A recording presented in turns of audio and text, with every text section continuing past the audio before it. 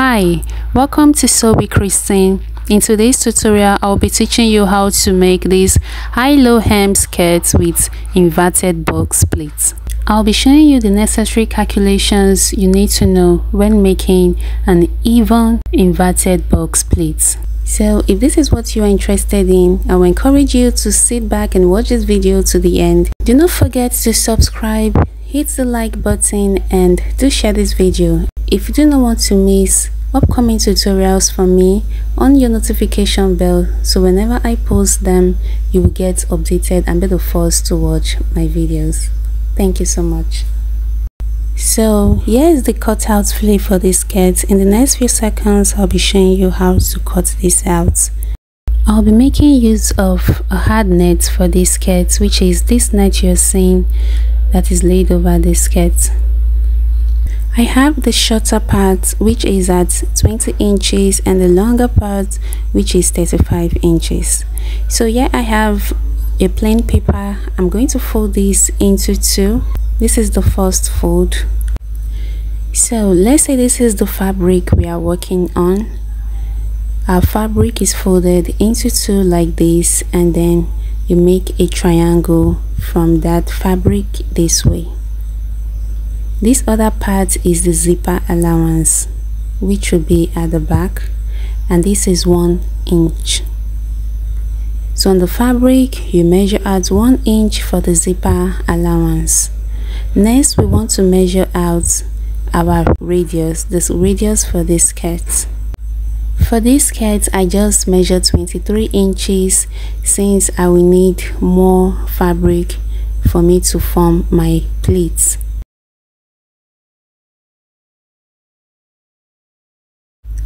From the tip of this triangle, go down and mark the radius that you'll be working with. For me, like I said, I made use of 23 inches. So on my fabric, I marked 23 inches like this turning my tape roll. So if you want yours to be fuller and you have enough fabric for that, then go ahead and increase the number. After marking down your radius, connect all the points together to form this curve. From this curve line, take the length of your skirt, how long you want your skirt to be. So you're going to mark down that measurement on your fabric. For this skirt, I made use of 35 inches. So I marked 35 inches on my fabric while turning my tape this way. After marking, connect the points together to form another curve line. Cut along these lines, that is these two curve lines. After cutting, I'm going to roll this zipper allowance onto the paper beneath this one. I'll turn the back and do the same thing. After rolling this, I'll go ahead and fold the zipper allowance inside. That's the reason I wrote this line so that I will know where I'm folding. I'll fold this inward. This is into 4 of the skirts and this is into 2 of the skirts. This part is the center front. This is on fold and this part is the center back. This is where we have the zipper folded inward. On the center front, I came downward by 20 inches on my fabric. Now, this depends on how you want yours to be. So mark down your desired length. I used 20 inches then after marking I drew a curve from that 20 inches to meet the 35 inches this way. After drawing the curve I went ahead to cut it out.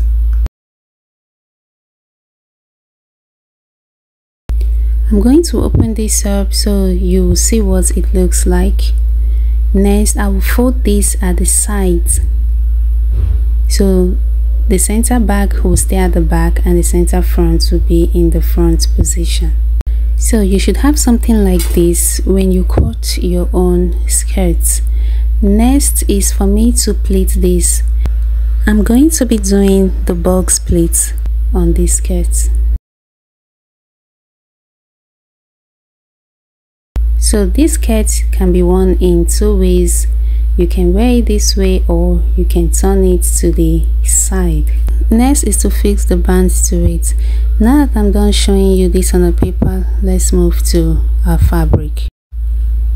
Now this is the fabric the exact measurements i gave when i was cutting out the paper was what i used for cutting out my fabric. And i've gone ahead to sew the hard into this as well as the lining I didn't use a full lining because I want the inner part of this skirt to be visible. Next, I'll be showing you how to calculate the pleats. For us to get the calculation of these pleats, I will first determine how many pleats I want in total. Now for this skirt, I want 8 pleats in total, 4 at the front and 4 at the back. And I'm working with waist circumference 32 inches. Now what I'm looking for is the width of pleats. How wide I want the pleats to be, that's each pleat. So that is width of the pleat is equal to the waist circumference over the number of pleats.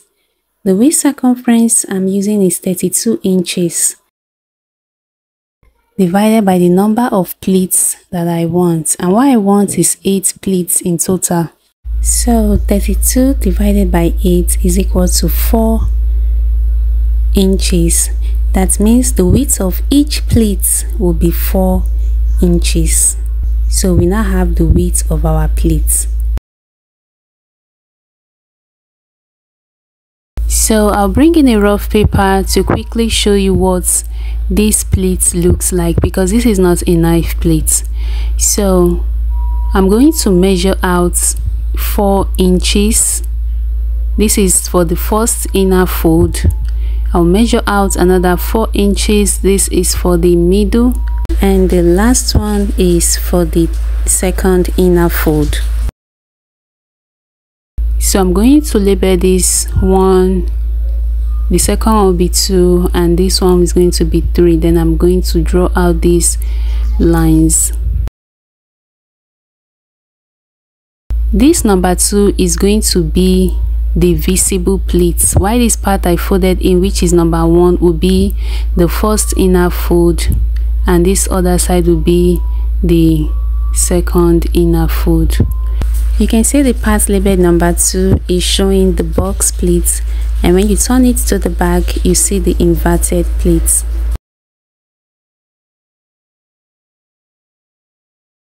Look at number 1 and look at number 3. They are the ones that will be folded inward while number 2 will remain opened. Everything you're seeing here is equal to one pleat. That is the number 1, number 2, number 3 put together is what will give one pleat. And number 1, 2, 3 is 12 inches. Each part is 4 inches, right? That is 4 times 3 4 inches in 3 places that gives 12 inches therefore one pleat would use up 12 inches and I need 8 pleats in total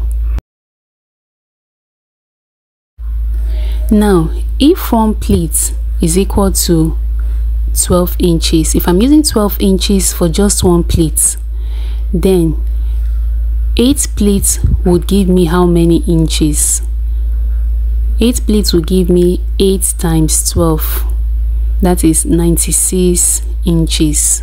So i'm going to be using up 96 inches of my fabric to get these pleats let's measure what i have because what i have here is not up to 96 inches.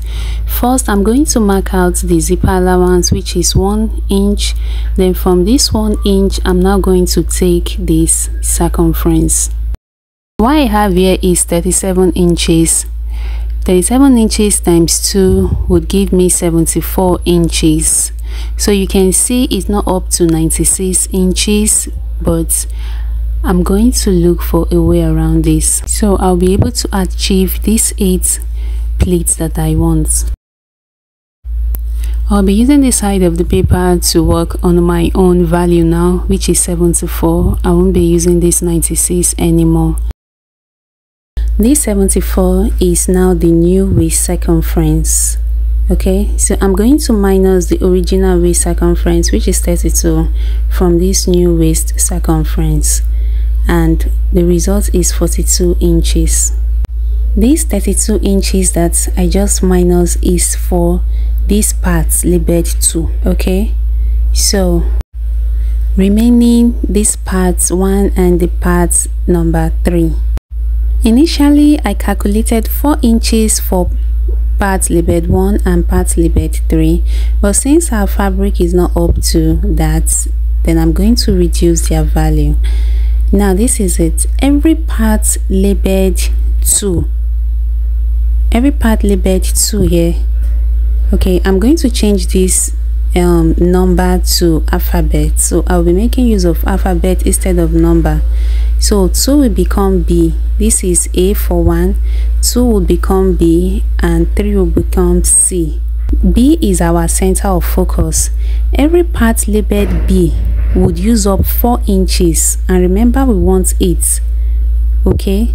So part A we want 8 part B we want 8 part C we want 8 alright? But part A and C will be inside of B. When making this inverted box plates you have two plates inside of one since we are giving 32 for part B, then parts A and C would have to share 42. That's the remaining 42 that we have here.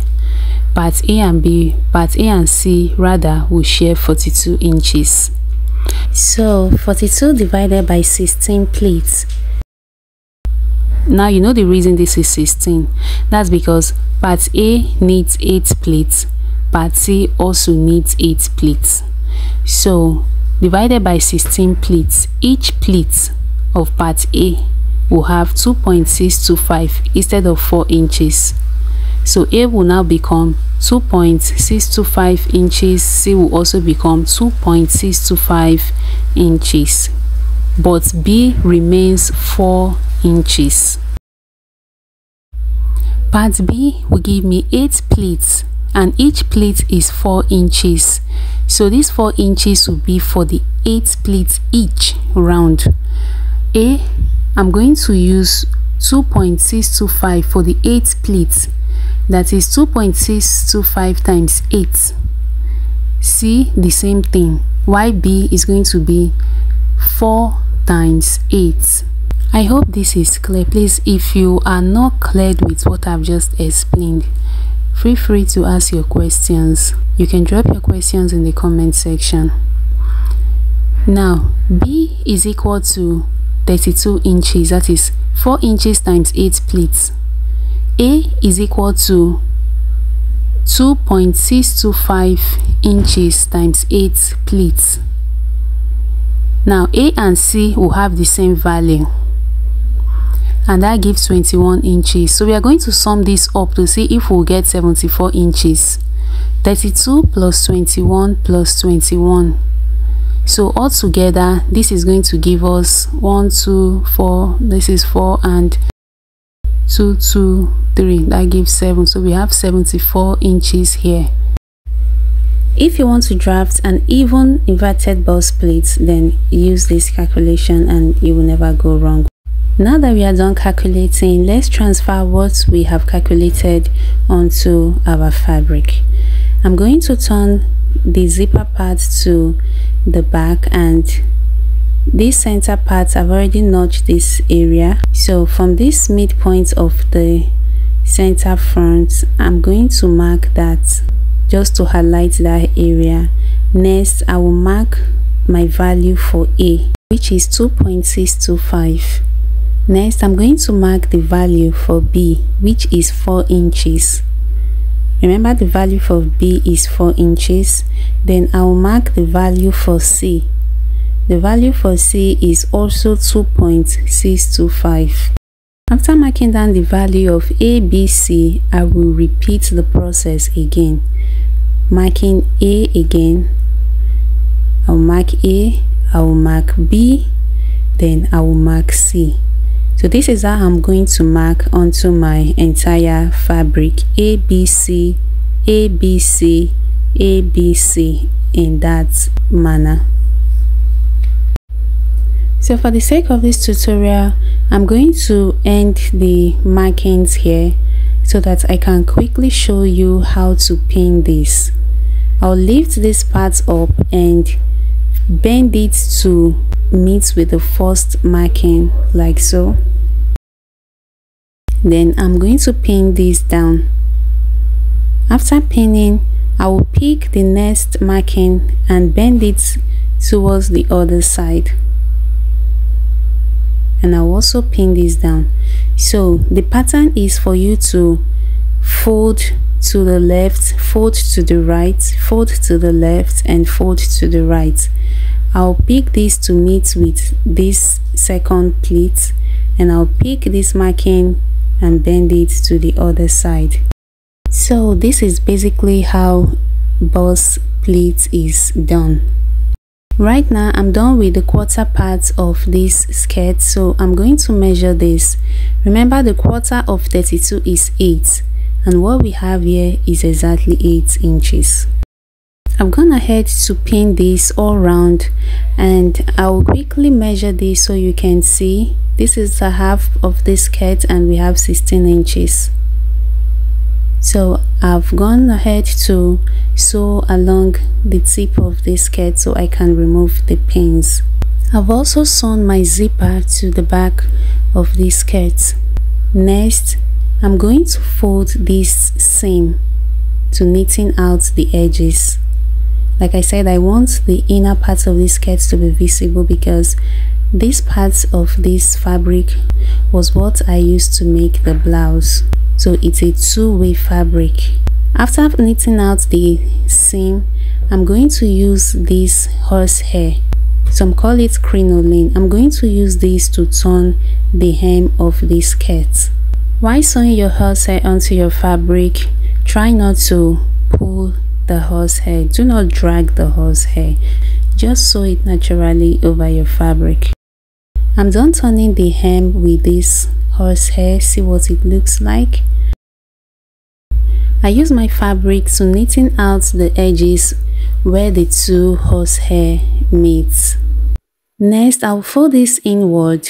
See the way I'm going to fold this. I'll fold this inward and use my pressing iron to iron this. I'll iron round the hem of this skirt. Now, this is why I told you I've gone ahead to knitting out the seam.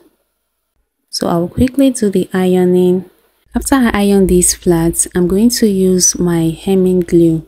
Now this is what a hemming glue looks like.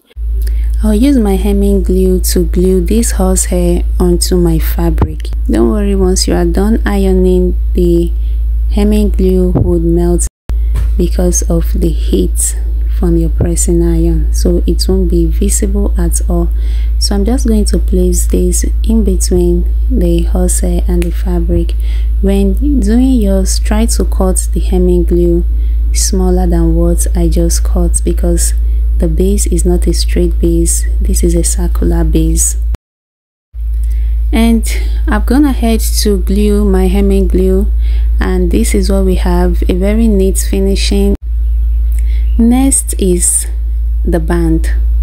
So this is the band and the width of this band is 5 inches when it's not unfold now when it's unfold it will give 2.5 inches and I'll be using up 0.5 inch for the seam now take your band this way and fold it inside out. So this part I'm going to close this up. After closing this up, I'm going to place my band inward like this. Now I'm, I'm going to sew from the wrong part of this dress.